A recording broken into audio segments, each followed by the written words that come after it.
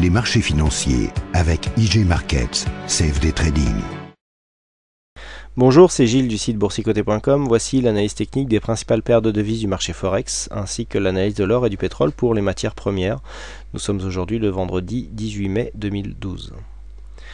Avec aujourd'hui donc une continuité du mouvement baissier, puisque malgré ici ce mouvement, on s'aperçoit que nous revenons à peine au contact ici de cette résistance baissière qui suit la tendance. Donc contact intéressant mais qui intervient juste avant euh, le week-end. Donc il sera intéressant de, voir si euh, cette résistance est cassée durant le week-end. Alors ça sera un signal assez, euh, assez intéressant puisque si la cassure intervenait donc durant le week-end par exemple sur un gap, on pourra avoir un gap qui serait intéressant à analyser en fonction de, de savoir s'il est comblé ou pas puisque des gaps de rupture comme celui-là eh bien, donnent en général des signaux assez intéressants, mais des fois contradictoires, puisque des fois après un gap de rupture, on, est, on vient s'inscrire dans la continuité, donc il faudra faire attention quand même. Donc toujours ici euh, dans une tendance de continuité euh, baissière. Hein, au niveau, euh, au niveau du, de l'euro dollar juste un contact ici sur le haut de la tendance donc bon la tendance est, est, assez développée pour ça, serait normalement une prise de, position dans la continuité, mais là, vu le, la, taille de cette tendance, on va dire que euh, on a plus le chance maintenant d'assister à un rebond technique qu'à une continuité de tendance. Donc pas de personnellement moi je resterai à l'écart euh, sur ce sur ce mouvement hein, puisque là si vous voyez que les, points d'entrée euh, je vous les ai décryptés hier étaient plus dans cette zone là hein, au niveau des 1.31.80 et puis euh, là on est descendu jusqu'à euh, jusqu'à 1,2640 donc euh, pour ceux qui ont réussi à prendre ici cette, cette tendance dès le début ça fait ça fait quasiment 500 pips de, de, baisse. Donc c'est assez intéressant. Et là on, assiste peut-être à une cassure puisqu'on a quand même des indicateurs qui nous montrent une possibilité haussière alors que nous sommes justement sur cette zone technique. On n'est pas du tout euh, suracheté, on est en pleine dynamique, donc il peut y avoir une cassure sur cette phase, mais pour l'instant c'est pas du tout confirmé, donc à confirmer euh, durant euh, le week-end. On continue avec euh, le câble, donc le câble qui est toujours ici dans sa, zone très euh, très très dynamique, hein, euh, puisque là nous avons juste un rebond technique ici, mais qui vient se, loger ici sous les, 1,5820. Alors je rappelle la configuration, hein. on avait ici une phase d'accélération, phase d'accélération qui a provoqué une cassure ici du retracement des 100% pour aller tester donc le support inférieur à savoir les 1,5744 des 1,5744 on est revenu ici sur cette fameuse zone des 1,5820 et euh, pour l'instant on, attend la suite. Donc pour l'instant on est dans une continuité de, de, tendance baissière. On était fortement survendu ici. On a réussi à casser un support dans cette configuration.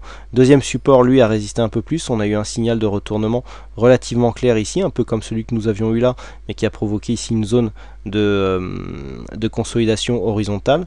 Et ici nous sommes venus euh, enfoncer le clou. Donc là pour l'instant euh, zone technique mais rien ne nous dit qu'on va casser à la hausse. Il faudrait vraiment avoir un avoir une grosse une grosse phase de hausse pour venir marquer une, une, phase de retournement puisque si on trace ici la résistance de cette de cette tendance. Voilà, pour l'instant, on serait euh, quasiment sur une zone euh, de cassure, mais on voit que c'est cette zone de support là maintenant qui est en train de, de, résister. Mais là, la cassure n'est pas réellement effective. Il hein. faudrait vraiment avoir une grosse dynamique qui nous permette de casser donc cette résistance horizontale et cette résistance euh, baissière ici de tendance. Pour l'instant, ce n'est pas encore fait. Et donc, comme je le disais pour l'euro dollar avec le week-end qui approche, il conviendra de, rester prudent et donc d'observer une éventuelle cassure à l'ouverture dimanche soir. On continue avec le dollar yen, donc dollar yen avec cette fameuse euh, phase de retournement haussière ici qui a totalement avorté, hein, je vous l'avais indiqué hier. On est revenu ici sur la zone des 61,8 et après un bref rebond technique, on s'apprête à la casser. Donc là c'est assez, euh, c'est assez intéressant, mais je vais être obligé de passer en, en pour vous montrer euh, la suite. Voilà. Donc là, on est sur cette phase ici de hausse. Ensuite, on est en phase de consolidation et là, on est en train de casser le 61.8. Donc ça, ça c'est vraiment la zone des 76 là qui, commence à devenir euh, l'objectif puisque en cas de cassure avérée, eh bien, on aura une forte probabilité de revenir sur les plus bas euh, de février, hein, plus bas que nous avions eu juste avant cette phase de hausse ici qui nous avait emmené jusqu'à 84 sur un mouvement quasi rectiligne. Là, on s'apparente plus à une, à une phase de, consolidation, mais en absence d'un retour de la dynamique haussière, eh bien les cours s'enfoncent, commencent à attaquer le 61.8. Si le 61.8 était attaqué, comme on le sait, on aurait une grosse probabilité de revenir sur la base du retracement, à savoir les 76. Donc là, attention, au niveau du dollar yen, une cassure de cette phase pourrait nous emmener euh, bien plus bas.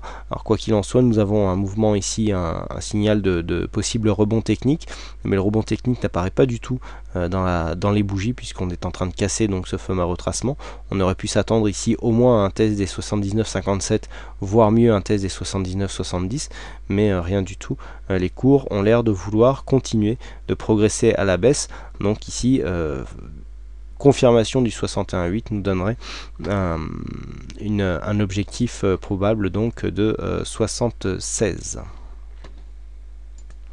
Euh, on passe aux matières premières donc avec l'or. Donc l'or qui a fait une belle remontée aujourd'hui, euh, belle remontée entamée hier. Donc je vous avais je vous avais indiqué ici la cassure de ce de ce trend baissier.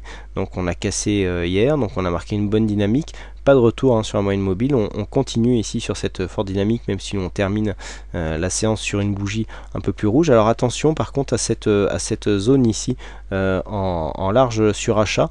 On a une grosse amplitude ici au niveau du MACD, donc une, zone de consolidation est à, est à prévoir, surtout que nous avons quasiment testé ici la zone des 50%, une hein, zone qui était à 1599 presque 1600, j'en connais qui, attendaient cette cible.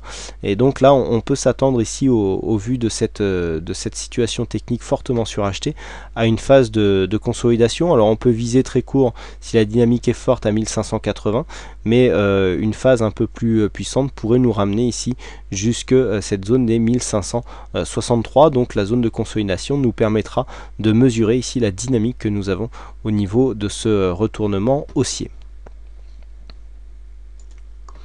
Enfin, on termine avec le WTI, donc le WTI qui commence à perdre sa dynamique ici en cassant sa résistance baissière. Alors, comme je vous le disais hier, la cassure ici est vraiment très molle. On n'a pas comme sur l'or où on avait euh, vraiment une, une cassure. Là, on était sur une phase baissière, on n'a pas fait une cassure et puis ensuite on part en dynamique. Non, là, pas du tout. Hein. Sur, le sur le WTI, on est ici sur une phase où on voit même la moyenne mobile 20 ici euh, commence à s'infléchir, à, à revenir dans une dans une phase un peu plus horizontale, c'est un peu plus visible sur les bandes de Bollinger. On est euh, neutre au niveau des stochastiques RSI, le MACD ici nous donne peu de signal, euh, peu de signaux pardon, donc voilà, on est en train de sortir de la dynamique, mais ce n'est pas pour autant que nous allons nous remettre dans une, euh, dans une tendance haussière. Alors on, est quand, on vient quand même de loin, puisqu'on est parti ici d'une zone de plus haut aux alentours de 106 dollars le baril. Aujourd'hui on tourne autour de 92, donc 92 c'est une zone qui, qui pourrait faire, euh, support, mais on a quand même perdu, euh, ben, euh, on a perdu, excusez-moi, on a perdu 14 dollars ici sur le, prix du baril, beaucoup quand même.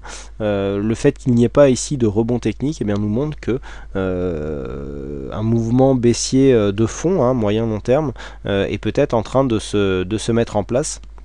Donc attention ici, cette phase de baisse, vous voyez hein, la, dynamique ici euh, sans, euh, sans, volatilité, sans rien du tout qui est en train de sortir du trend.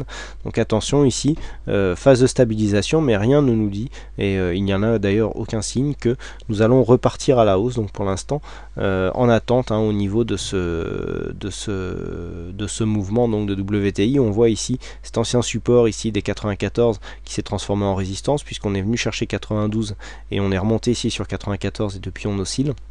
Là, on va plus souvent tester la zone des 92 que la zone des 94, donc on est toujours ici dans une phase baissière. Vous voyez comment on reste bien sous la moyenne mobile 20 exponentielle, ce qui nous montre que euh, cette tendance, malgré ici cette cassure de résistance, n'est pas totalement terminée.